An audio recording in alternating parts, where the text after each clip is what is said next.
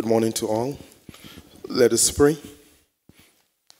Heavenly Father, we thank you for lending us breath to be here this morning to celebrate this special occasion, founding day of this fine institution, the H. Lavity Stoutt Community College. We thank you for allowing our college to see 30 years. As we celebrate 30 years of existence, we thank you for the founding members who casted the vision to establish this institution. In particular, the one to whom the institution bears his name, the late Honorable Hamilton Lavity Stoutt. We also thank you for those who carried out the mandates of that vision, which gave birth to this needed establishment in our territory. Thus, we thank you for all the past governments, college leaders, faculty, and staff who continued the work to ensure that this institution continued to grow over the many years. And so, Lord, we pray for the current government, college leaders, faculty, and staff that we will work in unison as we strive to ensure that the HLSCC continues to grow by leaps and bounds, and that the vision and mission lives on so that our students are equipped with the knowledge and skills to be lifelong learners prepared for their career of choice and who are ready to contribute to building up our territory. Finally, Lord, we pray that you will bless the proceedings of this founding day, that everything will run smoothly, and bless the H. Lavity Community College as we celebrate 30 years. We ask this in the precious name of Jesus. Amen. God save our gracious Queen. Long live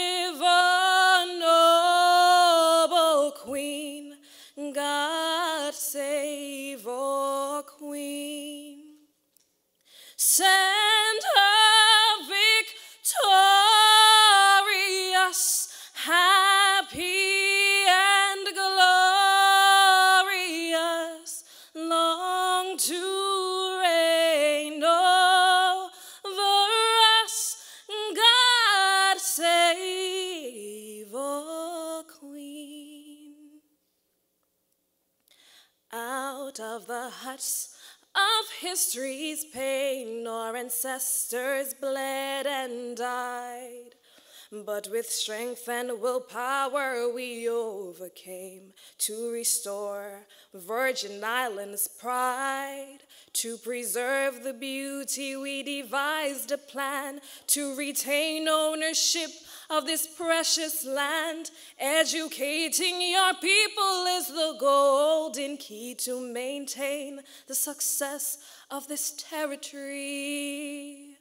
Oh, how radiant are your daughters, and how wealthy are your sons. Your beaches boast your beauty, and your success is second to none. Green and brilliant are your hillsides, they replenish our hopes and pride. Oh, beautiful Virgin Island, your qualities can never be denied. May God richly bless this territory. May we ask three things of thee. Courage for our great leaders, that they may rule our destiny. We ask for wisdom for all people, that they may live in harmony. And understanding for our children, that they may cherish this legacy. Oh, how radiant are your daughters, and how wealthy are your sons. Your beaches boast your beauty, and your success is second to none. Green and brilliant are your hillsides, they replenish our hopes and pride. Oh, beautiful Virgin Islands, your qualities can never be denied. Oh, beautiful Virgin Islands,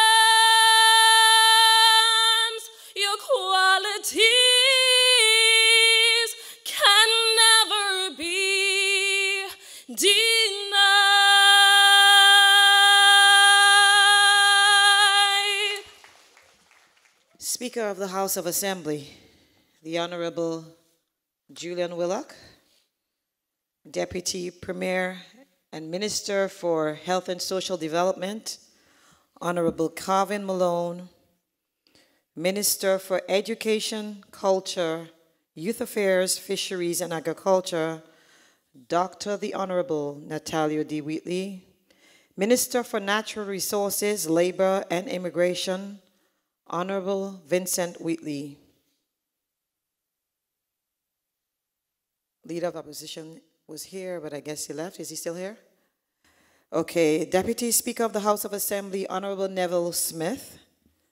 Junior Minister of Trade and Economic Development, Honorable Shireen Flax Charles. Permanent Secretary, Ministry of Natural Resources, Labor and Immigration, Dr. Marcia Potter. Chairman of the Board of Governors of the H. Lavity Stoutt Community College, Mr. John Samuel. Deputy Chairman of the Board of Governors for the HLSCC, Mrs. Fiona Forbes Vanterpool. Acting President of the College, Dr. Richard Georges. Acting Vice President, Dr. Louvain Baptiste. Faculty and staff of the H. Lavity Stoutt Community College. Other distinguished ladies and gentlemen, Good morning. Uh, I believe because we've had you waiting so long, the morning is very faint, but I said good morning. Uh, We are sorry that we kept you waiting so long. Let me say thanks to Mr. Estridge and Ms. Beer Smith for the invocation and national anthem and territorial song, respectively. Today is a great day. It's another day that we've come to celebrate another significant milestone in the life of this institution. To give you your words of welcome and opening remarks, I now invite Deputy Chairman of the Board of Governors here at the H. Lavity Stoutt Community College, Mrs. Fiona Forbes Vanterpool, to come at this time. Mrs. Vanterpool. Good morning. And welcome to the 30th anniversary of HLSCC and to our founding day. We are happy that you have come today to celebrate such an auspicious occasion with us. I am delighted to join all of you this morning to celebrate the founding of HLSCC. 30 years ago, this college was founded, a very, very short time in history. And Founding Day provides us with an opportunity to reflect briefly on the college's history, highlight important accomplishments, and to discuss our aspirations of this institution for the future. When I reflect on the challenges that the founders of HLSCC must have encountered when the institution was started, I'm in awe of their vision and their tenacity. I have tried to imagine that moment in history a small, primarily agricultural nation with hopes of increasing its tourism sector, responding to the beaconing call of the financial services sector, and dealing with limited resources. Our founding fathers had to make choices about their community needs. And what their community would need most over the decades to come. They decided ultimately that an institution of higher learning was the best way to help our people improve their lives, and so they set out to build an institution that would last and that would make the biggest difference for the citizens of the Virgin Islands. Over the past 30 years, the HLSCC has seen an increase in course offerings and student enrollment, the establishment of a sister campus on the island of Virgin Gorda, the development of a culinary arts center, a regional center for applied marine studies, and the Learning Resource Center. In 2015, HLSCC became the last international tertiary institution to be accredited by the renowned Middle States Commission on Higher Education. One of the institution's most, most noteworthy accomplishments, in my opinion, has been the development of relationships with other institutions of higher learning via articulation agreements and memorandums of understanding. As a result of these relationship, relationships, HLSCC has been able to offer degree programs beyond the associate's level, namely bachelor's and master's degrees, and also postgraduate certificates and diplomas. In so doing, BV Islanders were able to gain further education and training to advance themselves from lower to middle management positions to senior positions within both the public and the private sector. And this is a huge accomplishment for such a young institution. We have also witnessed the advent of free tertiary education for all citizens of the BVI. This is the vision of HLSCC founders equal access to higher education for people of these Virgin Islands, recognizing that as a nation, we are nothing without our people, and that our people can do nothing without the opportunity to develop and advance themselves. 30 years later, we still have much to learn from the founders and their vision of this institution and these Virgin Islands.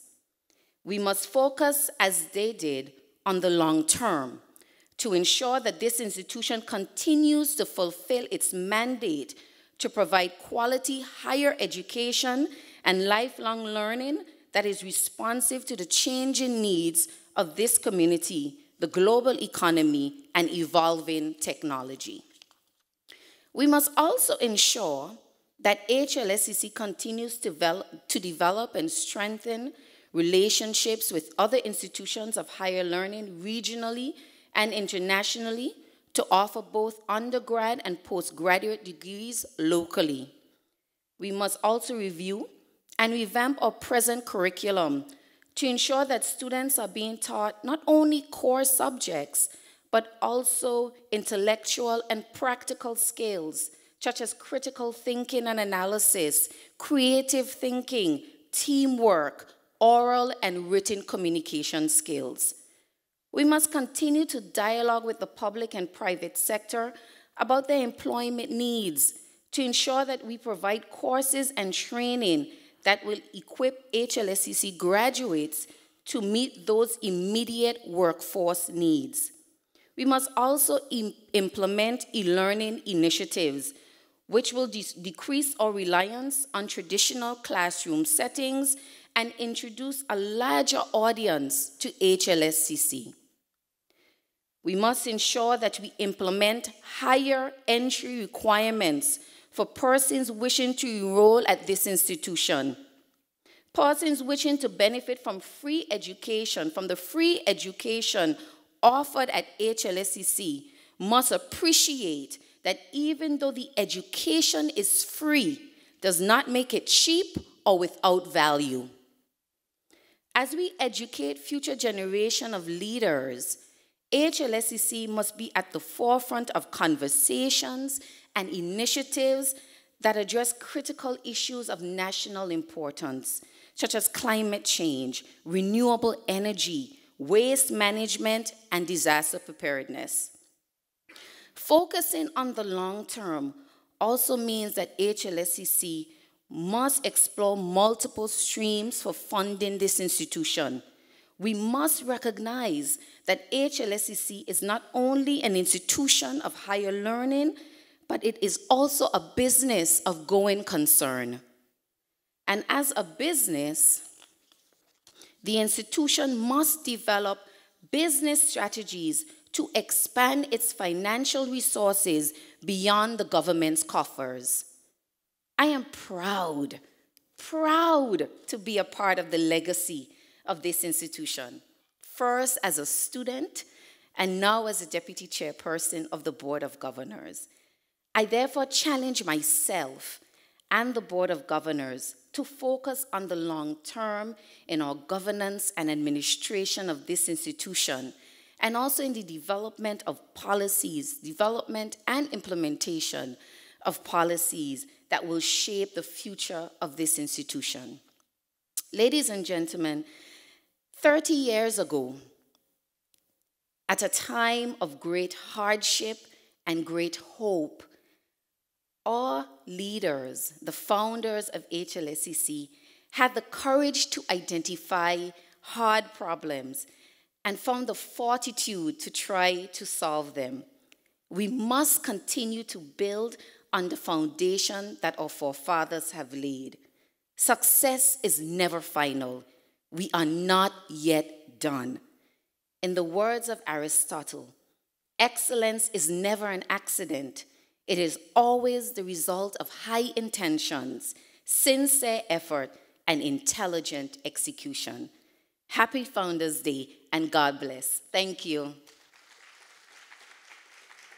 I recognize in the audience, in the midst of the lights, former Associate Vice President of the college, Dr. Christine Hodge. See a special welcome to you this morning. and to all the faculty present. It is indeed a privilege and a joy to be here as your chairperson this morning. As Mrs. Vanterpool was speaking, and as I look through the program, I'm seeing persons who have been impacted in many ways by the college. As I was behind her, I said, Bria, 30 years ago, you weren't around.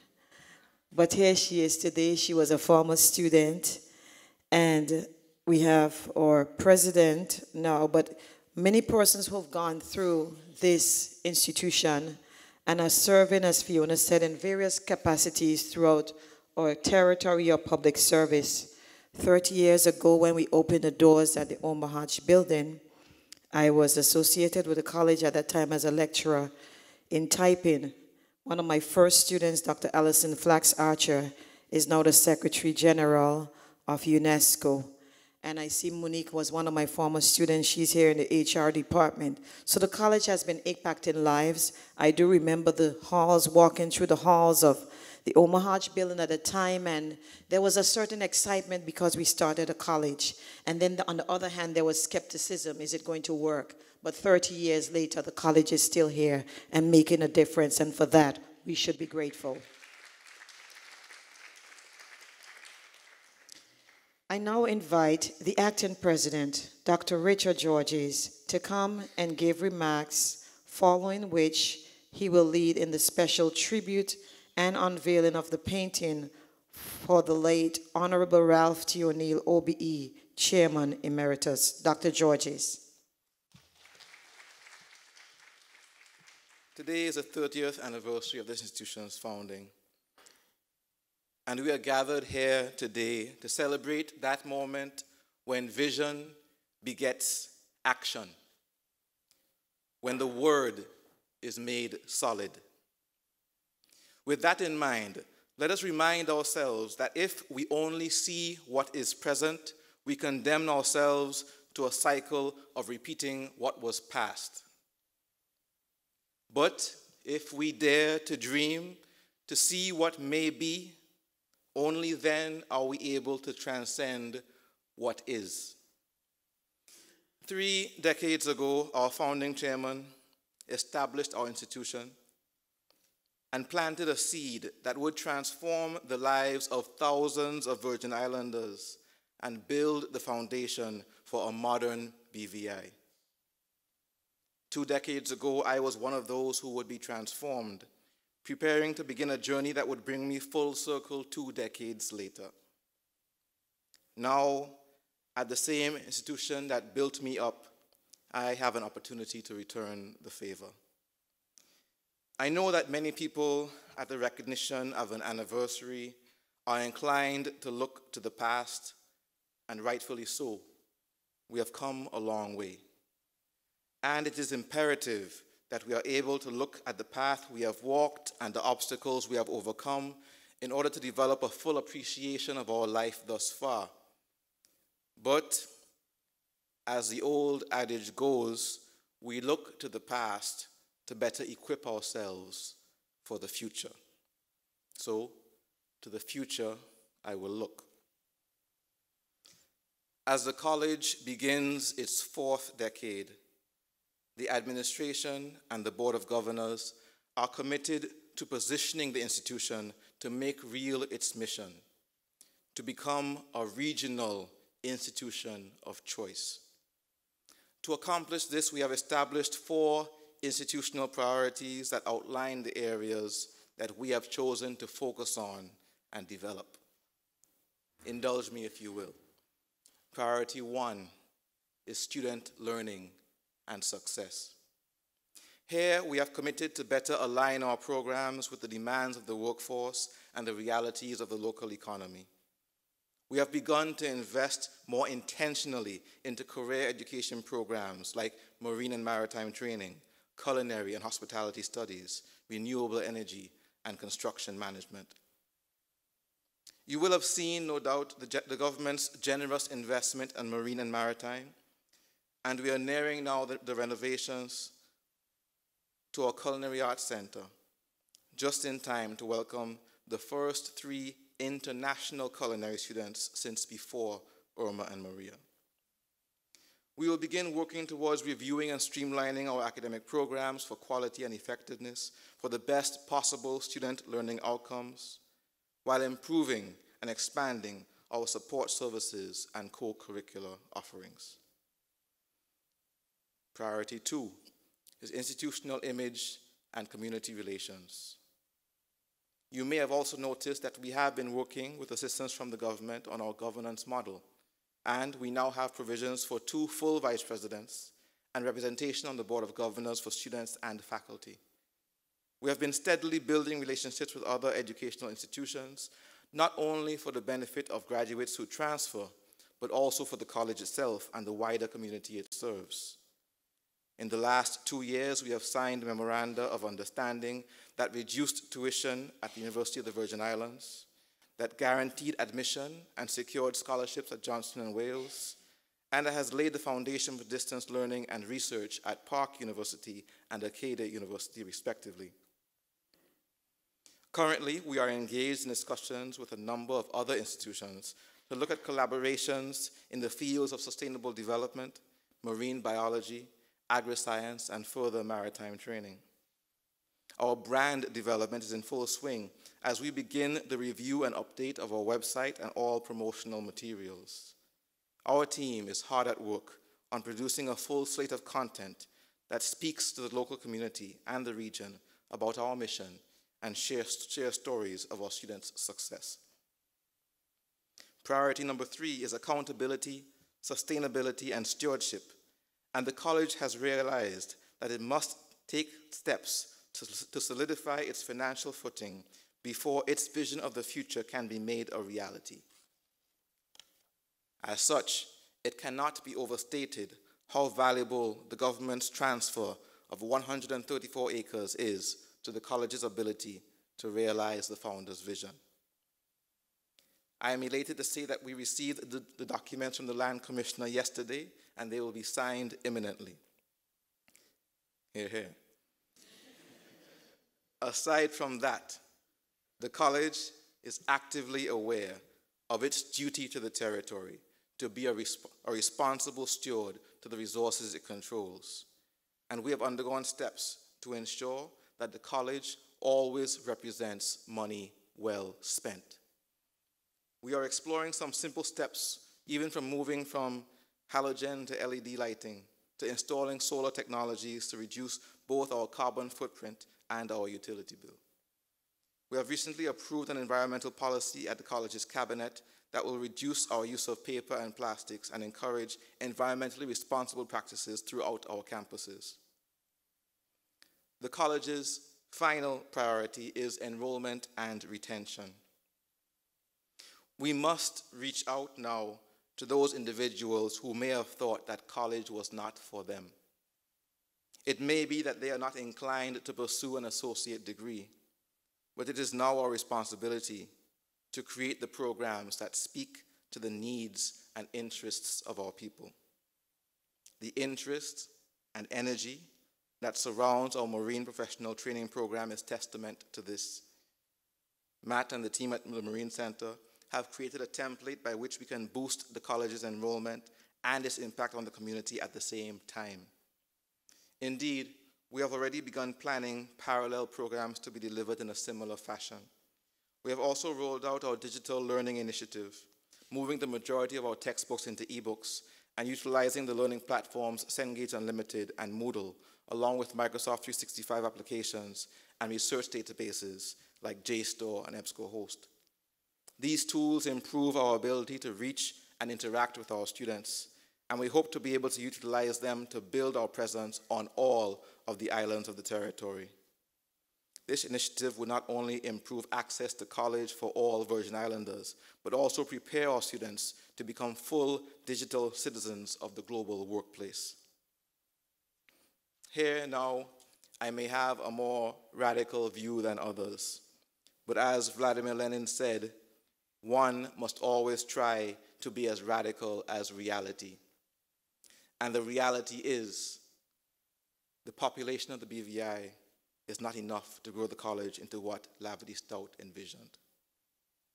But you see, that is a good thing because our mission is to become a regional center of choice. It means that we now must start to look further afield than our own shores. The truth is, we have not yet begun to do so with gusto, yet we find international students here already. They have found us. There's already a tradition of Eastern Caribbean students coming here to study, in particular, culinary and hospitality. And in 2016, the OECS named HLSCC as the center of excellence in the region for marine and maritime training. We must now work to build the institution into the preeminent institution of learning in this corner of the world, period. We must build an institution that attracts students from throughout the territory, but also from throughout the region and the wider world. This means continuing to invest in digital education. It means streamlining our degree options. It means developing our career education programs. It means building dorms and a larger campus community. Three decades ago, our founding chairman, built the foundations upon which the lives of many Virgin Islanders were built. I would not be the man I am today without enrolling first as a student here. H. Lavity Stoutt found people like Honorable Ralph T. O'Neill, like Dr. Charles Wheatley, and many others who would become champions of the college. Those of us who have passed through these hallowed halls owe all those great people a debt of gratitude for their service. And I challenge and admonish all who are within the bounds of my voice today to, in their own special way, become champions of this college's future. In the decades to come, we can only pray that we leave the type of legacy at this college that will compel others to say the same about us. Thank you very much.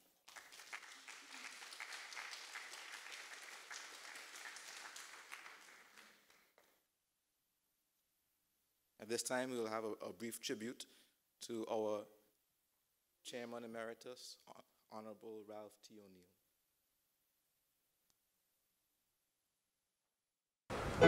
My, my first recollection of Mr. O'Neill was, must have been in the late 40s. Um, he, he, was on a visit to the school along with, with some, some other members of, of, his family. He was a, a tall, gentleman in a khaki type short pants.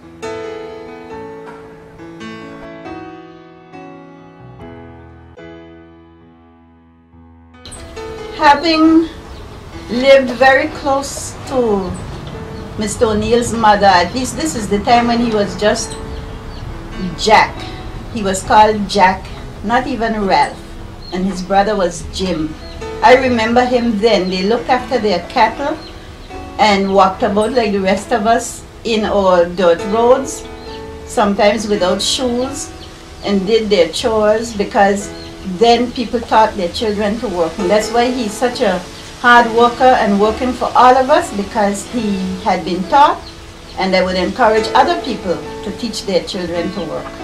I can recall seeing him again in the early 50s, the beginning of the 50s, when he came to the song to replace Brigadier Flax, who was the headmaster of the, the Methodist um, Elementary School here.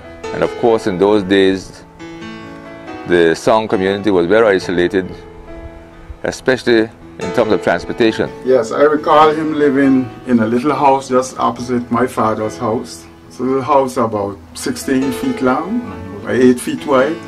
And at that time there was no electricity. People used just a lamp. There was no running water.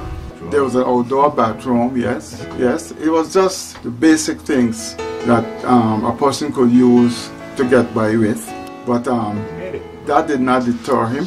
Yeah, he was um, determined to make it, and he made it. In those early days, wasn't no water catchment facilities that was used for storing water. Um, while he was here, he saw the need for a proper water catchment facility. And so he encouraged the government of that day to build a system to the school. And by 1954, that system was built. Even though Mr. O'Neill had a house, there were times when he would walk up to, the valley, from the valley to the song on a, on a, on a Monday morning. Someone had to go, to the, go down to the valley on a Friday afternoon to, to collect the horse and bring him over so that Mr. O'Neill would be able to, to ride back down to the valley. Then he had Waldemar Cricky, Reginald Roymer, and all these old gentlemen who he made his friends and his, his Friday afternoon would be taken up, speaking to them on his way to the valley. So, so, this, so what this means is that he would be arriving in the valley sometime in the night.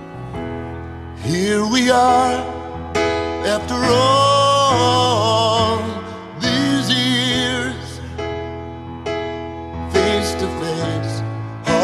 heart and I loved you from the start, and I never thought that we'd be standing here after all these years.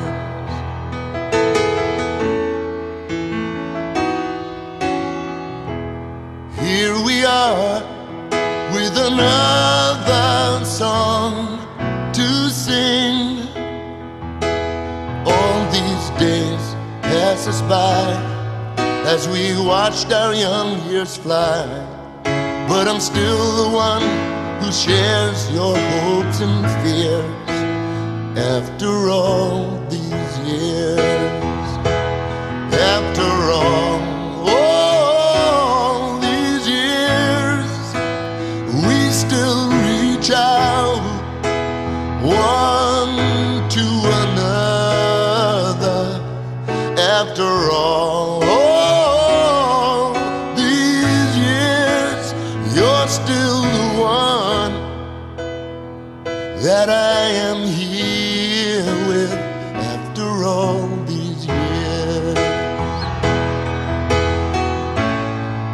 I've loved all these days, all we've been through, and I just want to say, I'm so glad it's been with you.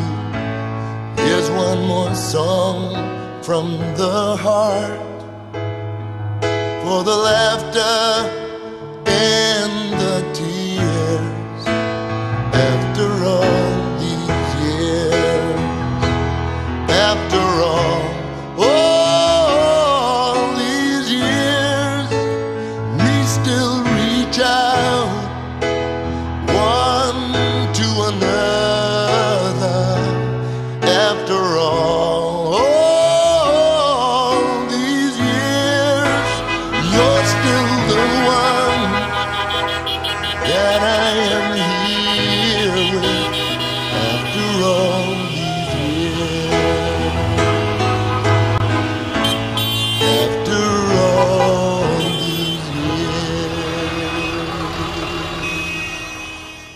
So we, we have a man then with, with, with a tremendous experience, a man who knows the, the past, and a, man who can take us forward to the future with, with great hope. Because he know where he know what it is to be poor, he know what it is to be in poverty, he know what it is to see a community. There was, there was yearning for change, yearning to be developed, and, and, and, and were obstructed because some, some basic facilities that was needed wasn't there. And he having worked hard to put these facilities in place, he had the pleasure of living to see the, uh, the, some positive change in the community. He had, he, had, he had the pleasure to see some of those persons whose hands he held, who he taught in the, in the school system, develop and grow and, and are now contributing to the elevation and better development of these islands and, and the Virgin Gorda community in particular.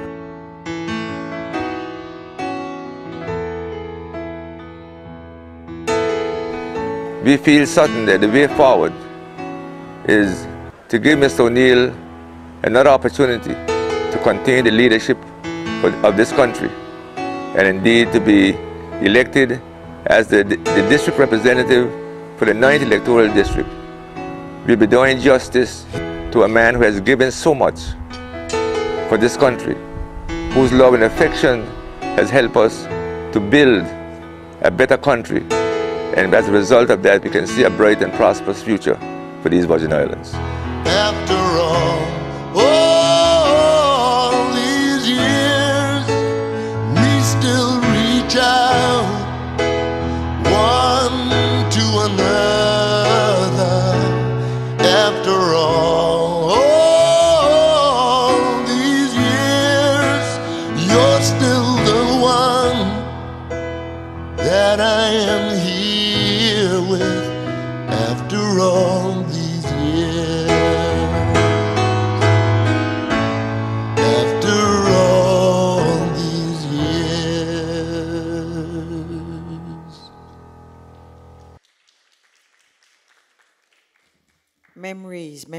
Memories.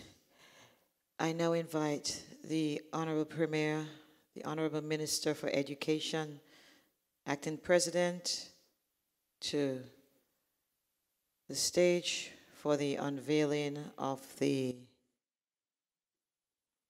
painting of the late Honorable Ralph T. O'Neill. Chairman, Mr. Samuel, please.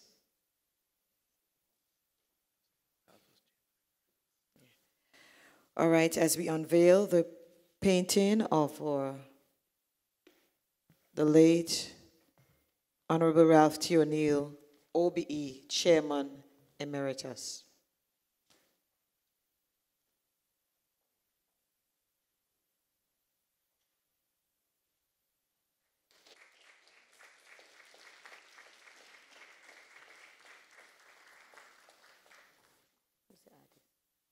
All right, let me acknowledge the artist, one of our very own, Mr. Reuben Vanterpool, former Speaker of the House of Assembly.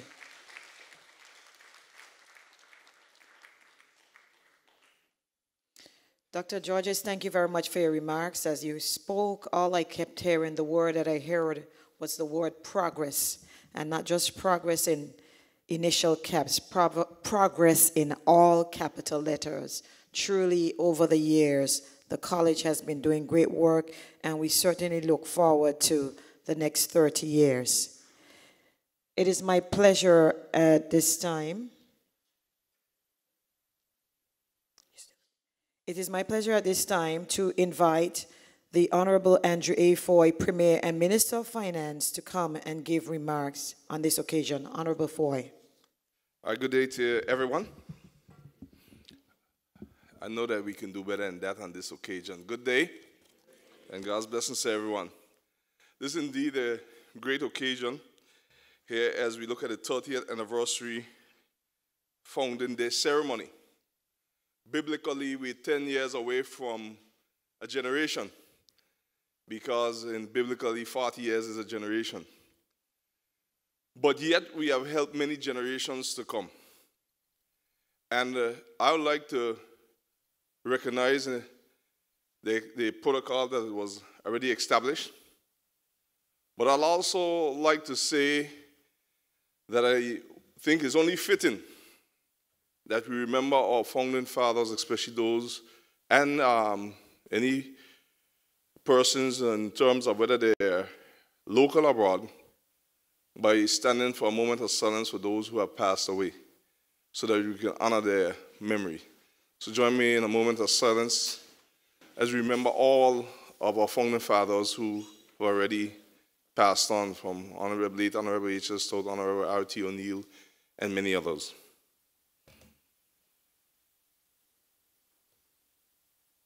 Thank you. You may be seated. May their soul rest in peace.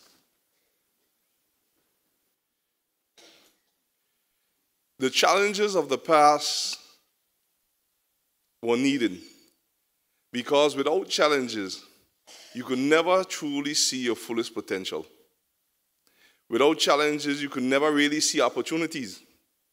As a matter of fact, all great things that have been invented or have been improved came as a result of a problem. It came as a result of a challenge. And when the late H.L. Saw the need to educate his people, beyond the secondary education came the need for the, the H.L. Stoutt Community College. And I happened to have just uh, returned back from college uh, just a few years after it was open. But I kept track of what was happening at that time. And there's nothing different to anything that is major that needs to be done in this territory or anywhere in the world when you're going to do something major. It was met with great obstacles. It was met with great resistance. But one of the things that I learned as I watch leaders of the past, like Honorable, the late Honorable H.L. Stoutt and the late R.T. O'Neill, and even some who are still living, is a mathematical formula. And being that I, I love maths and science and engineering, I just love mathematical formulas. And that mathematical formula, is that persistence always beats resistance once the foundation and the print is based on a sound principle. And that is why when you realize that you need to move forward for the better of the people of the country, you have to move forward. I can remember very clearly many resistance, even since becoming premier, when this whole room was filled, and we, I told them we have to unite the territory. And I sat here and on the stage, and there, was, there was standing room only with the residents in Belongo's situation. And while some don't agree up to today, I understand and respect that. But why do I bring that up? Because it is impossible for us to think that how we build the BVI, we can continue to build it on our own. And not recognizing that we are now not a BVI just looked upon as the BVI we now have to be a BVI that will be one that will link the Caribbean because the Caribbean is already here. The, the success that we're looking for at HLSCC is right in front of our very eyes.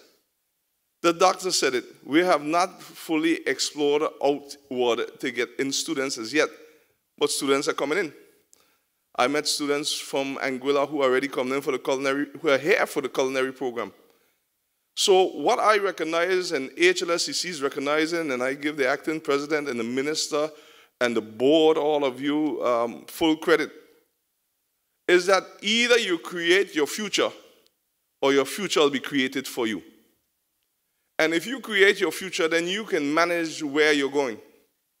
And one of the things that I do with my colleagues, and I see that Dr. Georges and Mr. Samuel, and I, I, meet with them with some other programs, have done is that they have made sure in this college they do not major in the minor. And once you continue to do that, you will get a bachelor's, a PhD, and even a degree beyond the PhD in excellence. Just keep making sure you do not major in the minor. The future of HLSC is beyond our imagination. Because if we limit our imagination, then we can't see where HLSCC is going. The dormitories, the video conferencing, um, the training, quality training, it's going to get the job done for the people of the Virgin Islands. This will not only be an institution for learning, but it will be a tourism industry for education. Because people come from all walks of life here, whether it is to get a degree, whether it's to get training. And we are strategically positioned the BVI is not where it is geographically by accident. It is where it is because God placed us here as a gem to link the Caribbean in trade, in education, economics, and many other areas. And what we have to do now is make sure that we continue to unite and move forward. ICHLSCC offering bachelors uh, in all areas, masters, and doctorates. And one of the things that I told Dr. Georges and a few members of the board when I met them is just start very simple. Find one or two areas that you're very good at and be very good at it, and everything else will fall in place. And believe it or not, when you have improved the marine uh, program, maritime training, it is such a program now that, that when I was speaking with the, the instructors, I understand that it's filled all the way up into 2021. There's a waiting list. That tells me that something is being done right. And I have to be given a round of applause for that.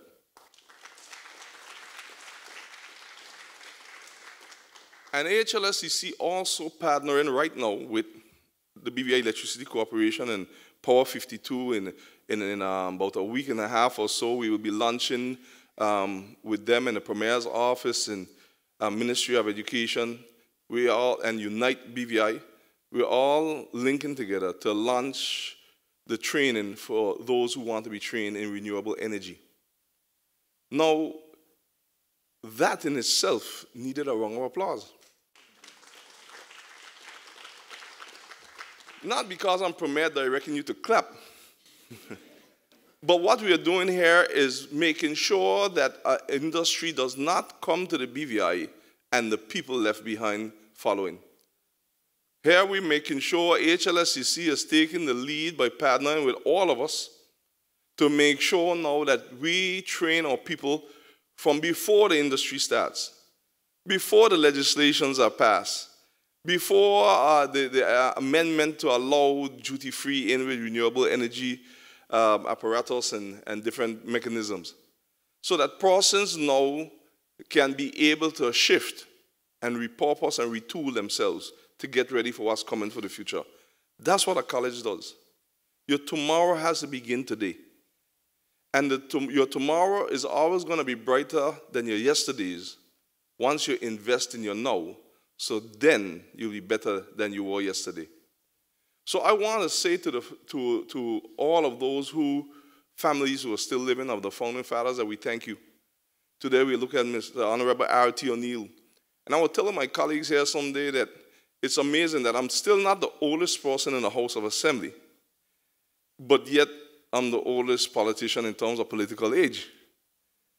And it's amazing now for me to be the, the one that the baton has been passed on to from R.T. O'Neill days to me. And it is very important that when you get it, you run with all your might.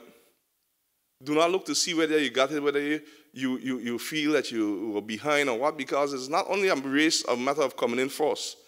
It's a matter of a race of finishing and doing your best so that the generations unborn and those born will be better because you ran your race with grace you ran your race with all that you had, and you ran your race being productive so that the present and future generation can fulfill their purpose. I worked with R.T. O'Neill. I knew his passion for education. I knew his passion for H.L. Stoutt Community College. Anything else could have fallen in the territory when it needed money, but not when it came to the police and H.L. Stoutt Community College. I, I worked with him in many budgets. They had to get money. And I saw when he was able to carry that branch over to Virgin Gorda how creative he did it. That I myself, who was working with him, didn't even see when the move was made because he did it so creative. And before you know it, there was a branch over in Virgin Gorda. And he left everyone on the boat scratching their head. How are we going to pay for it? How are we going to get this? You know, the regular talk and, you know, when an when a unconventional move is made. And I was there with him in the meeting. And when we left, I said, Chief, you know, um, he just landed just down there and they're wondering how we're going to be paid for. He said, they'll find a way. And I, the Minister of Finance, I'll find a way too. But he said, once it get there, they can't take it out so easy. and to not know his history. But it has solved the Virgin Gordians well. But Dr. Georges said it correctly. Now it's time to look beyond our borders. not stop encouraging those who are here, not making sure that we maximize those who are here to use HLSCC. But the truth be told is that our destiny is larger than our current population. Our destiny of HLSCC is waiting on us. And we're going to get there by doing what our forefathers did dream big, dream beyond what they could control. Because if you can control your dreams, that's not, that's not God, that's you. But if you dream big with the help of God, and it's based on a principle like what H.L. Stoutt did and what Honorable R.T. O'Neill did, and even the help from persons like Mrs. Eileen Parsons and Ms. Lana Smith and all of those who helped to, to create the foundation. But the dream had to be birthed through someone. And when H.L. Stoutt was pregnant with this idea and he delivered, he made sure that he got some caretakers that are going to help this to grow. Can I tell you that you are the modern day caretakers? And can I tell you that the future of the HLSCC does not depend on what happened before? And it does not depend on what's going to happen in the future because it all depends on what you do now. So you cannot see yourself as just an employee. You cannot see yourself as just a board member. You cannot just see yourself as just a student. You cannot just see yourself as just someone who's visiting the HLSCC. You have to see yourself as HLCC, HLSCC. So that when every one of us walk the streets in town, we see HLSCC. And I'm challenging the college, which I told the board that we want to be like everywhere else in the world, that every store has shorts of HLSCC. We have flags of HLSCC. If we do not help brand and be proud of what we have, then no one else will do it for us.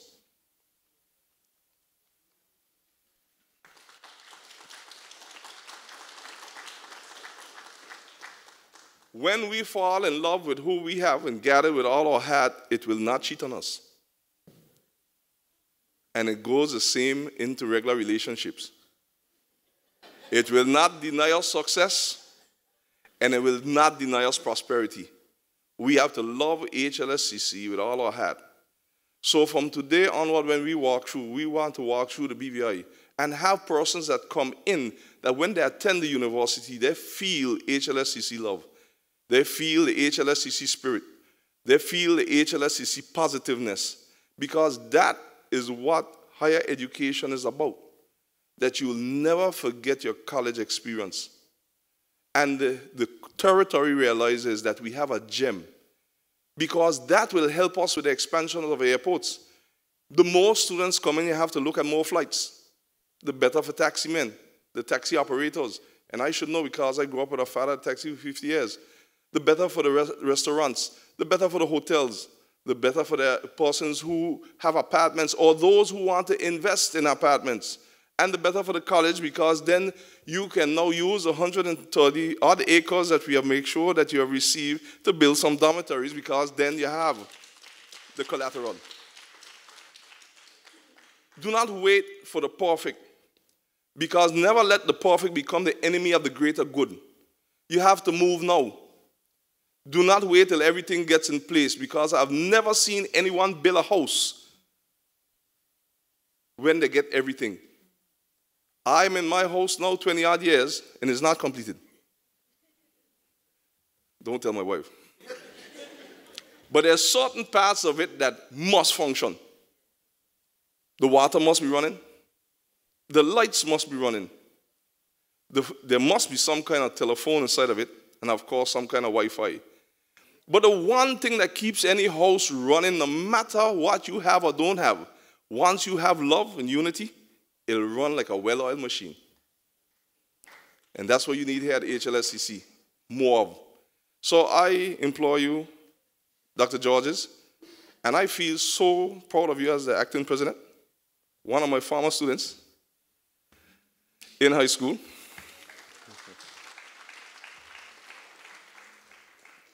Again, teaching him, I never know that I'll be here dealing with him now as the acting president.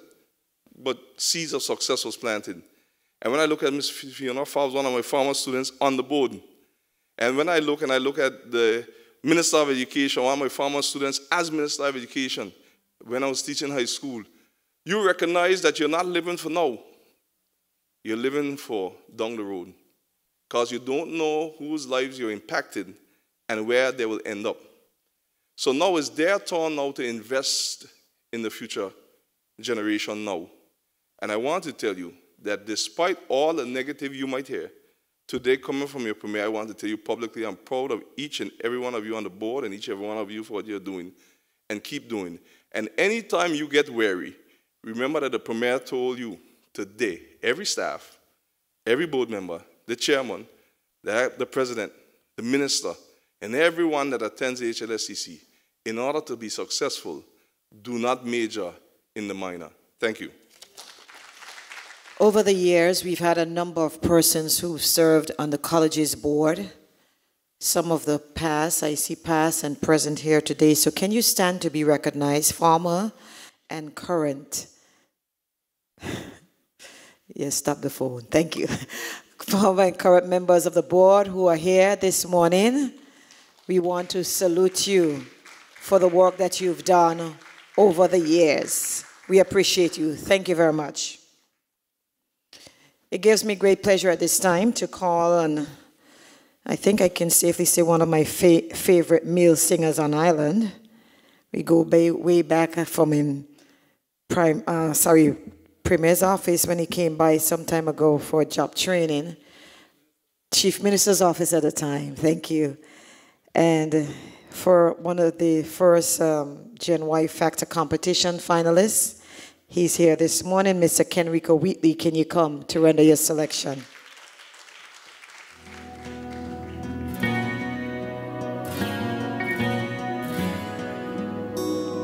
You made a way, yeah. Don't know how, but you did it. Standing here,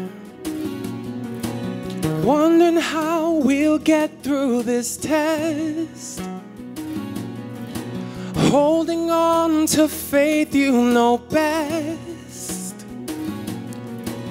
Everything I need you supply.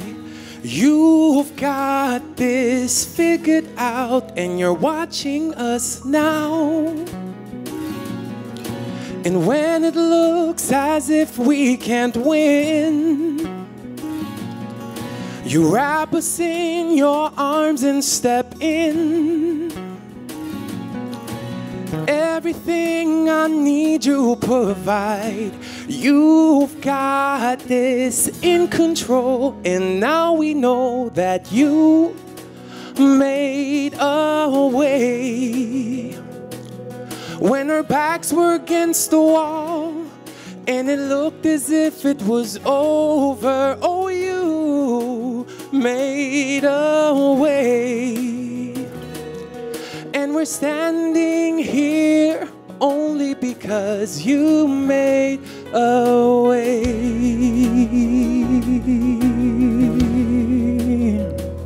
You made a way, yeah. Now we're here, looking back on where we've come from. It's because of you and nothing we've done to deserve the love and mercy you've shown. But your grace was big enough to pick us up, and you made a way when our backs were against the wall and it looked as if it was over. Oh, you made a way, and we're standing here only because you made a way. You, you made a way when our backs were against the wall and it looked as if it was over. Oh, you, you made a way. And we're standing here only because you made a way.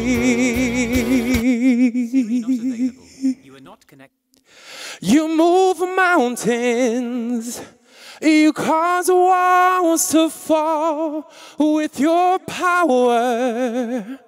Perform miracles. Impossible. And we're standing here only because you made. And we're standing here only because you made a way.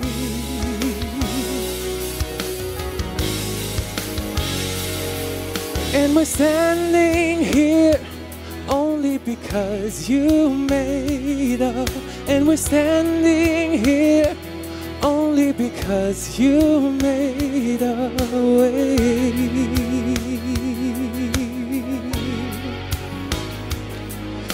And we're standing here only because you made us. We're standing here only because you made us. And we're standing here only because you made. And we're standing here only because you made a way. Thank you.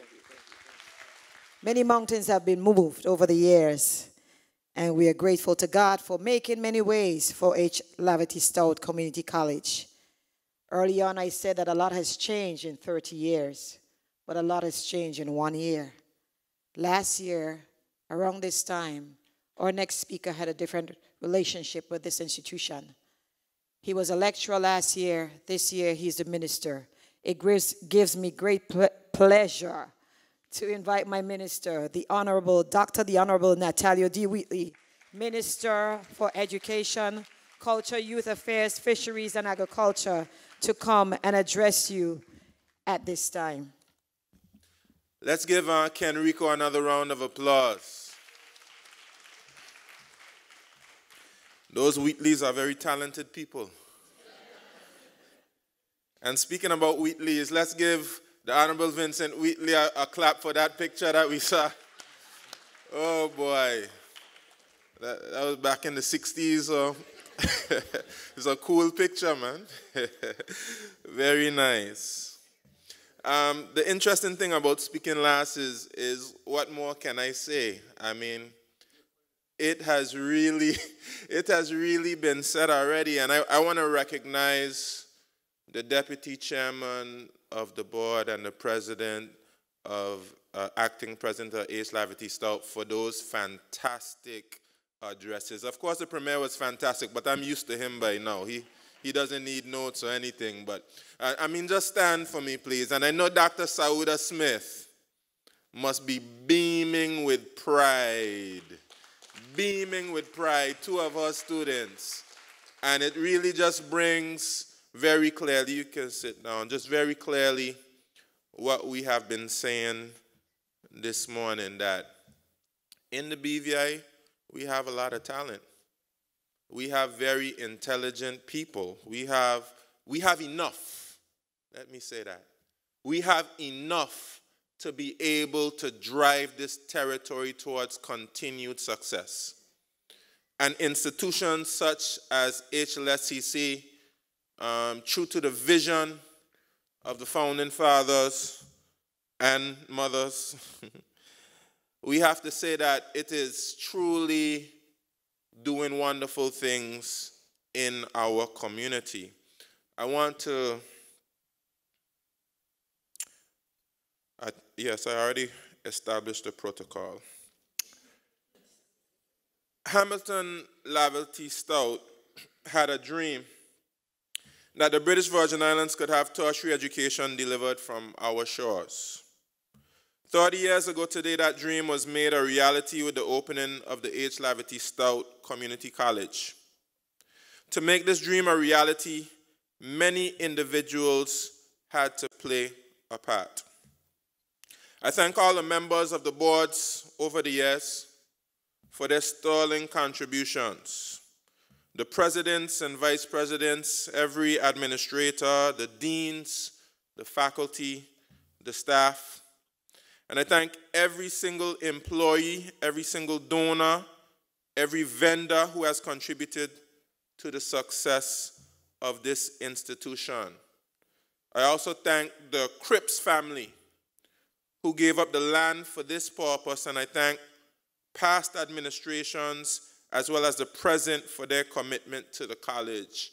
And let me just say that as the Minister of Finance and the Premier, uh, Honorable Andrew Fahie has continued the support to this institution uh, that was uh, prominent with, um, God rest his soul, Honorable Ralph O'Neal, member emeritus.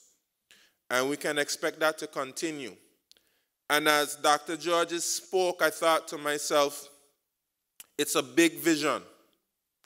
And I think Honorable Andrew Fahie is the perfect person to be in the position of Minister of Finance and Premier at this time because the Premier, he dreams big. You don't have to get him to, to, to, to, to persuade him to, to, to dream big. He dreams big already, and he's not afraid to take chances. He's not afraid to make investments for the future because he, he bets on himself and he bets on the territory. And that's something that I truly appreciate with him. So, with, with the, the contributions he made to the Marine program so far, and what we're going to see with the, the solar training project, I'm very excited about the future HLSCC with a man like the Premier at the helm. Give him a round of applause for all of the support he's given to the institu institution. And finally, and most importantly, I, I want to thank the students for having confidence in this institution in providing them with a quality education to nurture their growth and development, to help them accomplish their dreams. And I see a, a couple students here, and you know, with the example of, of persons like Dr. Georges and Mrs. Fiona Forbes Vanterpool, you can see, and many, many, many other persons. I see uh, Jamal Smith uh, in the audience, a past board member, a past student here.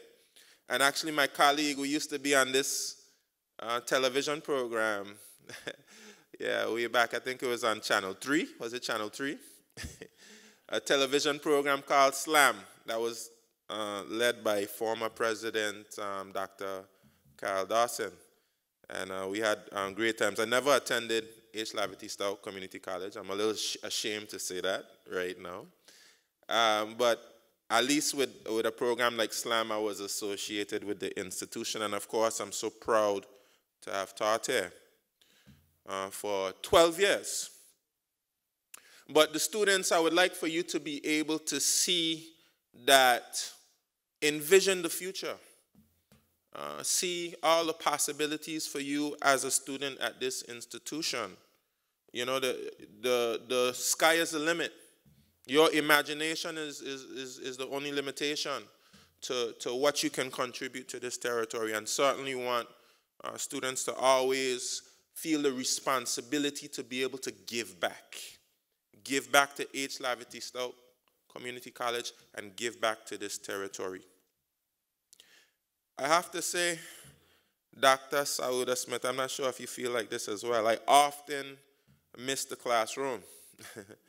I miss this institution, uh, the camaraderie with my colleagues, the process of building the institution, and above all, teaching the students. Teaching was one of the most rewarding experiences of my life, and I will cherish my time at HLSCC forever. I serve in a different capacity now, but I am well placed to continue the support of the college I have been given a mandate by the leader of the territory, Honorable Andrew Fahie, to align our education system with our economy, to ensure that HLSCC is facilitating the training needs of present and burgeoning industries. What you see with the Marine Training Program, the Solar Training Program, the Financial Services Institute, and what's happening in hospitality is just the tip of the iceberg. In the months and years to follow, you will notice offerings in agriculture, as we prepare for the revitalization of that sector. I'm also eager to explore the possibilities for training in the fishing sector. I've already had some initial conversations, and I'm excited to, to bring that to the board. And certainly, we can't ignore the need for offerings in technology, fintech, etc. I'm excited about the relationships we are establishing with other institutions around the world. I'm excited about the possibility of getting bachelor's degrees and master's degrees without leaving the shores of the Virgin Islands. The future of HLSCC is very bright, and I look forward to the next 30 years of service to this community and to the region. Happy Founders Day. Good morning, everyone. I was hoping today to kind of fly under the radar, but I keep getting called on, so uh, no luck. Uh, thank you, Madam Mistress of Ceremonies, the Permanent Secretary in the Ministry of Education, Mrs. Carolyn Stoutt Igwe, and in the interest of time, I too uh, would like to adopt the protocol already established. I don't usually like to do that, but uh, I wish to thank uh, the very priorities driven president, uh, acting president Dr. Georges, and his administrative team, uh, in particular, um, Dr. Bernadine Louis and our amazing 30th anniversary committee for giving me the distinguished honor to propose a vote of thanks on behalf of the alumni, former faculty, I'm former faculty, and the, also the first and former alumnus on the college's board of this most illustrious institution, my beloved alma mater, the H. Lavity Stoutt Community College, on the occasion of its 30th birthday.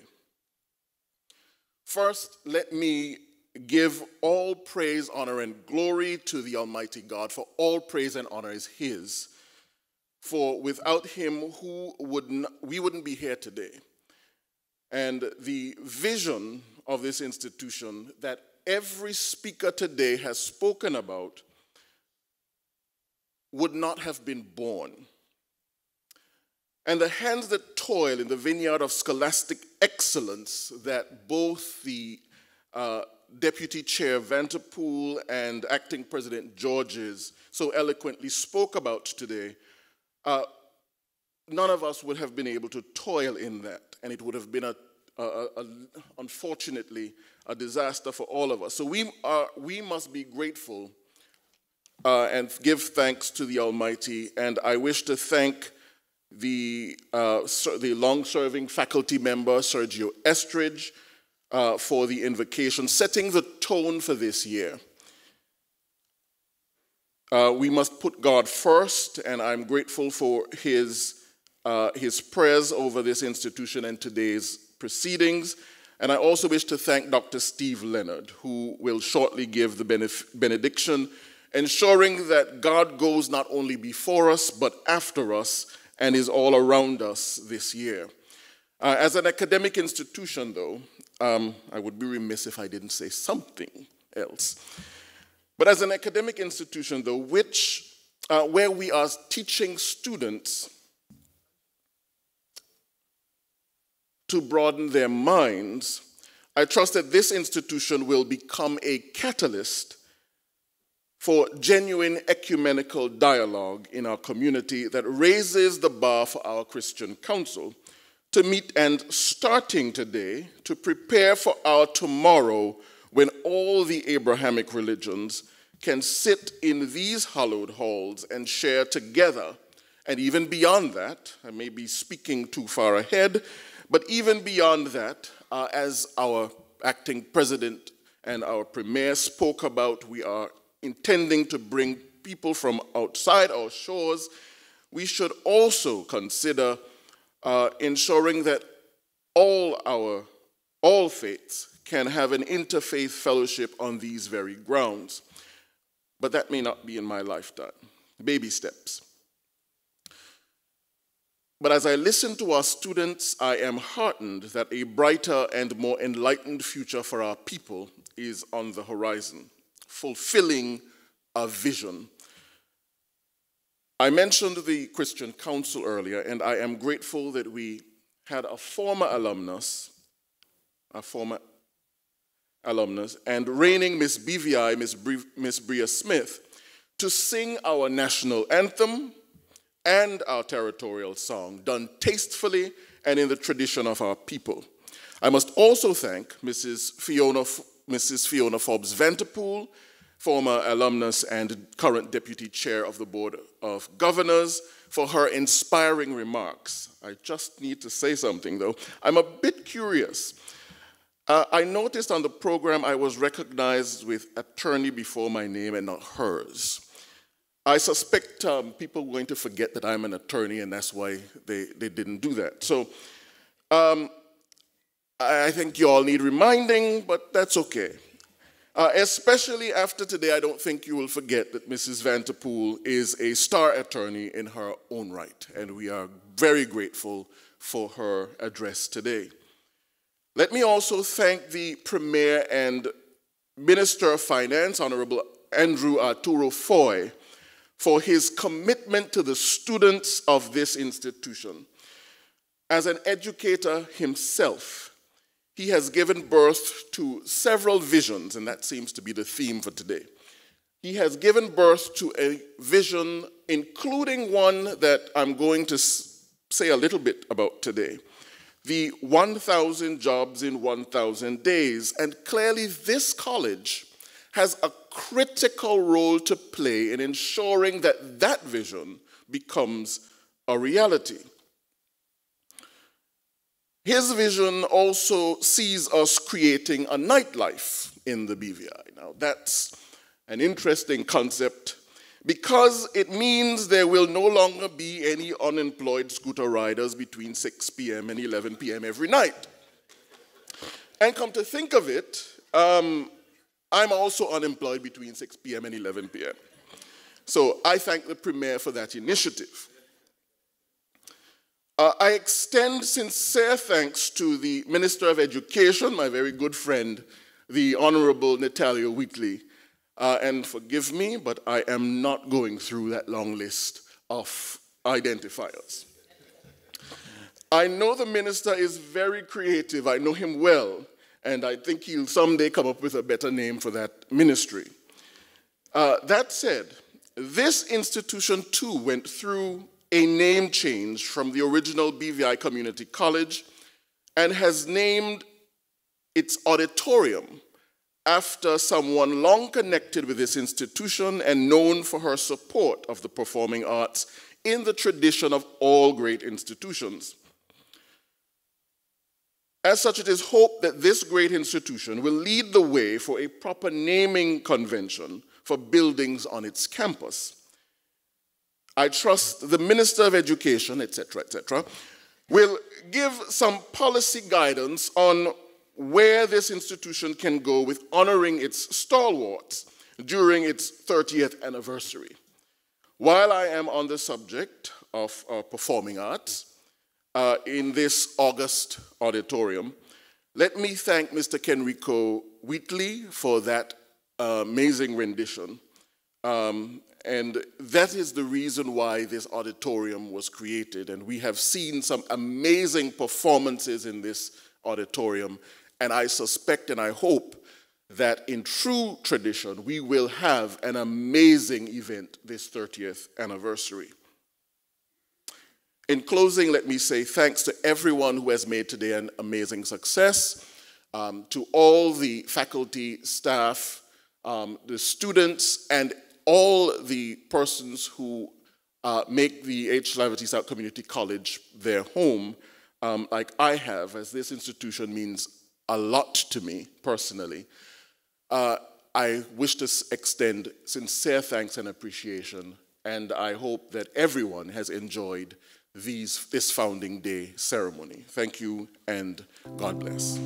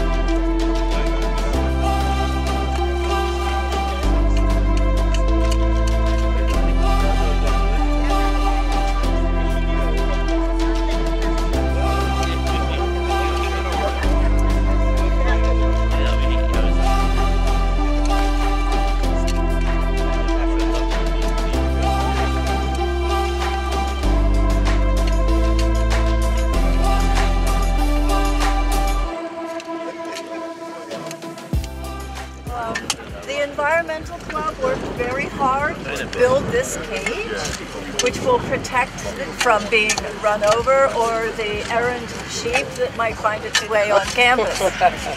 Uh, we still have work to do to anchor it in place, but even more than the two environmental club students that are here now did help. Uh, we have Travis Thomas, Akeem Moses, Curly Grace Oyentinji, uh, Alexia Penn, and Cassia Manahan. Also special thanks to Matt Holt of the Technical Studies in the Workforce Department for helping us cut the wood. Uh, there were a few others that did help. I appreciate everyone's help. Uh, and I think we have a wonderful tree here. It's called an ylang ylang, Y-L-A-N-G. It has a very fragrant, um, a very fragrant smell and yellow flowers. So we hope that it will grow and represent our founding day 30th anniversary. Thank you. Applause. Thank you. Good.